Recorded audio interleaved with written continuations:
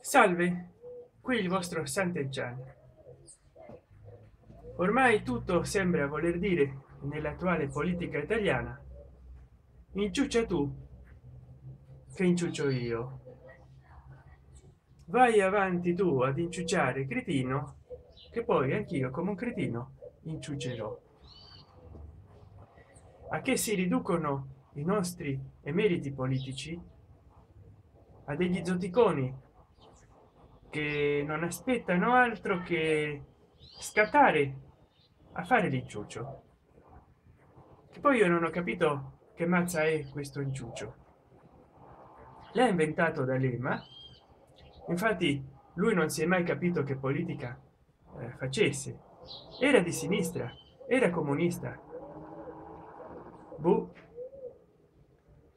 e lui si è inventato questo dell'inciuccio. Che già l'inciuccio nel nome è un inciuccio. Ecco. Quindi qui il vostro capitan sant'encian che tratta di commentarvi le cose della politica e invece ne rimane inciucciato perché non capisco appunto tanto per dire l'inciuccio cosa sia. Poi se non si sa che cos'è l'inciuccio eh, è un inciuccio parlare dell'inciuccio ma perché caro marco marco travaglio proponi tu come hai già proposto altre cose che si legalizzi l'inciuccio fare un, un inciuccio costituzionale. E eh, un inciuccio repubblicano un inciuccio dei comuni un inciuccio delle province che ancora non sono sparite.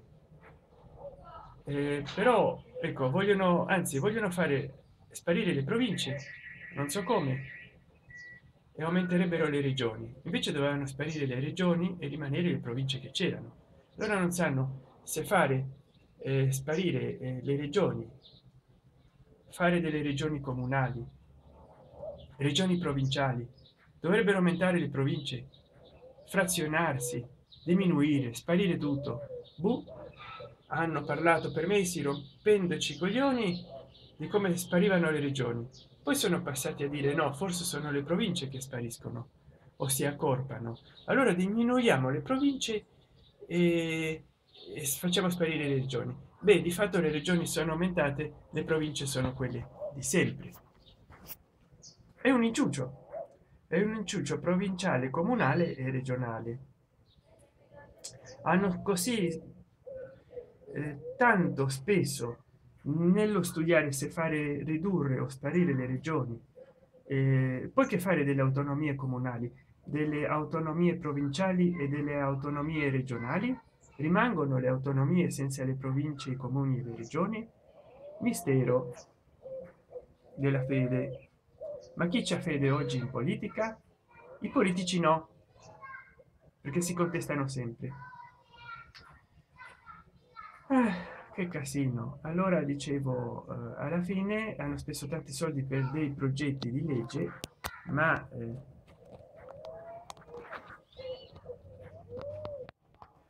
poi alla fine e non si è fatto nulla.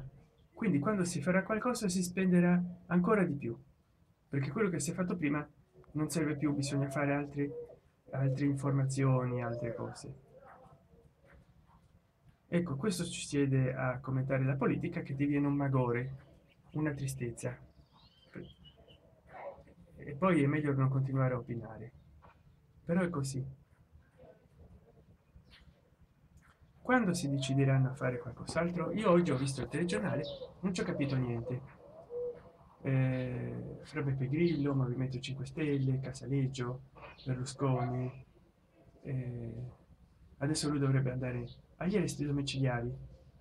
Siccome ha preso la residenza nel geriatrico, allora invece di lavorare come infermiere per i vecchietti, adesso lui si trasforma in un vecchietto che deve essere assistito nel suo domicilio, cioè nel geriatrico. Quindi sconterà la pena nel geriatrico dove vi era entrato per scontare un'altra pena quella di assistere i pazienti.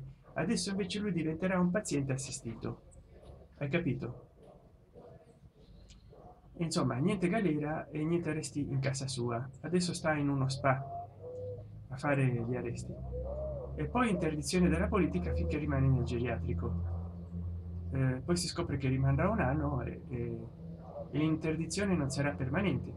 Quindi pensa che punizione. Altro che colpa e castigo di dostoevsky. Colpa e indulto all'italiana. Perché l'espiazione significherebbe pagare la colpa. Invece in italia nessuno è spia. Tutti sono spia e non sono figli di maria. Eh. poi l'Italia che non finisce mai di fallire si sono persi dei buoni negozi nel passato. E adesso eh, manco la fanno fallire in pace. Meno male che nessuno si è potuto aggiudicare la sconfitta nel mondiale perché se avesse vinto la nazionale italiana tutti a quest'ora ne sarebbero stati gli artefici.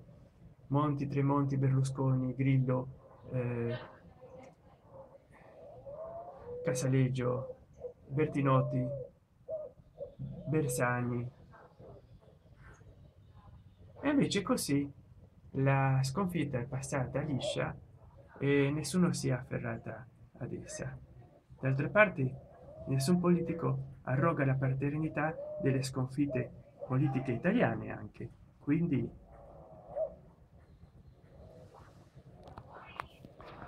roba da pazzi.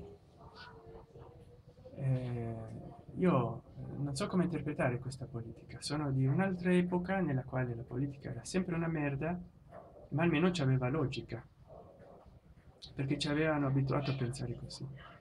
Adesso che siamo totalmente scettici magari come prima eh, pensiamo che non si può andare avanti così. Sono più di 50 anni porca boia che ci sono questi stessi politici che si riciclano padri figli e quando vengono di nuovi fanno lo stesso. E basta dateci un po di respiro. Chiamiamo politici dal giappone dal canada dall'australia dalla germania. Forse qualcosa di buono fanno. Forse no. Forse italia è irrecuperabile. E vabbè intanto intanto dicevo pompei crolla a pezzi ed ercolano no perché a pompei c'è intervenuto lo stato italiano a ercolano invece ci intervengono fondazioni straniere. Poi ho visto in un canale eh, di documentari nordamericano come ci sia la mafia dei gladiatori eh, fuori dal vaticano in ottaviano. Ma non solo anche una mafia delle guide turistiche che fregano soldi ai turisti e dei venditori ambulanti che fregano soldi ai turisti. È strano perché eh, dicevano che forse vi era coinvolta la polizia italiana eh, e anche istituzioni da dentro eh, del museo stesso eh, di tutte quelle robe là che stanno in territorio straniero non so se mi capite. E quindi che fa papà bergoglio? Metterà ordine a tutta quella corruzione? Ci sono in gioco centinaia di milioni di dollari che vengono gabbati ai turisti. Non solo dal lato di qua dal lato romano ma anche dal lato di là dal di là del ponte. Non so se mi spiego. E quindi tutto questo è triste. Addirittura fregano i turisti a Roma. Che figura di merda che ci facciamo davanti al mondo. Beh, eh, non perdetevelo. Quel documentario sugli staff sugli quelli che fanno la frode ai turisti a Roma. È spettacolare il documentario tristissimo da vederlo come italiano eh, però è così c'è la mafia dei venditori ambulanti di souvenir di cibo eh, ai gladiatori che si sono accorpati. E diceva questo documentario nordamericano che dovevano avere delle connivenze tanto con lo stato italiano con i funzionari italiani eh, come con eh, i funzionari dello stato confinante con roma e dei suoi musei eh, perché vendono dei biglietti per saltare la fila li vendono più cari poi non c'è nessuna fila nel museo. Eh, è tristissimo. Beh vi lascio. Ho fatto questo breve video perché ho avuto uno spunto. Eh, ieri ho fatto uno più largo ma adesso mi andava di, di spuntanare un po. E quindi dal vostro Sant'Enchan tantissimi saluti. Mi raccomando a presto. Ciao e non lasciate di seguirmi oggi ho avuto 300 visioni nel canale. E adesso che sono le 5 5 e mezza si sta facendo notte forse sono le 4 4 e mezza. No 5 5 quarto. 17.30 massimo. Fra poco fra mezz'ora sarà notte. Perché anche se inverno diventa scuro sempre più tardi. Stiamo andando incontro alla primavera che sarà fra circa due mesi beh allora vi lascio. Ciao.